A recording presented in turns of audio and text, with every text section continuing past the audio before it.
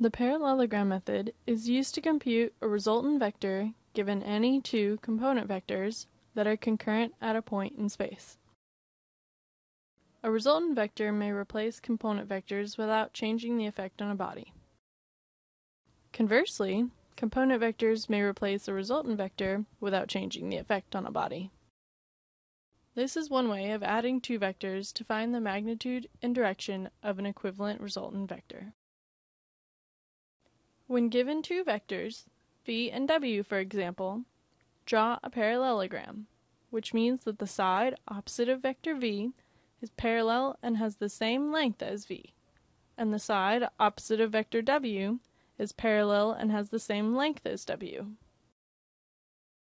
The resultant vector is drawn from the tails of vector v and w to the diagonal corner of the parallelogram. The resultant vector r is equivalent to the sum of vector v plus vector w. It may replace vectors v and w without changing the effect on a body. To demonstrate some of the geometry and trigonometry associated with parallelograms, let's combine force vectors p and q into a resultant force vector. Let's create a parallelogram where the sides opposing P and Q are of the same magnitude and direction of P and Q. This means opposing angles are also equal. All interior angles must equal to 360 degrees. And since we already know that phi is 93.21 degrees, alpha must be 86.79 degrees. Now that we have these interior angles, let's investigate the resultant vector r. The law of cosines works well for oblique triangles. We can find that the magnitude of r is 109.27 pounds. To find the direction of r, we can use the law of sines on this same triangle. The angle between P and R is therefore 66.02 degrees. Now that we know the magnitude and direction of the resultant vector r, we can use it to replace vectors p and q.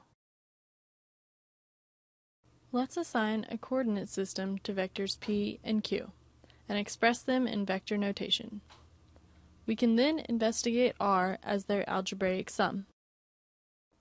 The components of P are 40 pounds in the x direction and 30 pounds in the y direction, and the components of Q are 55.4 pounds in the x direction and 83.2 pounds in the negative y direction.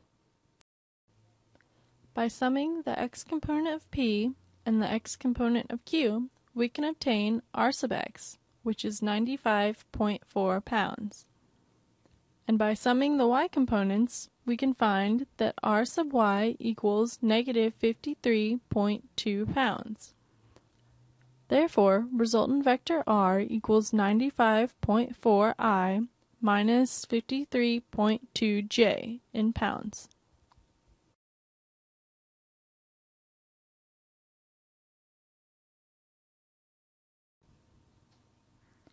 Visualize vector w extending from the tip of vector v.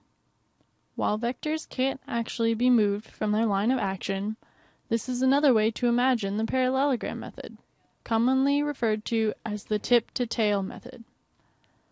This method is very useful in visualizing a resultant vector, especially for multiple vectors. Here, we can find the sum of vectors a, b, and c by lining them up tip to tail.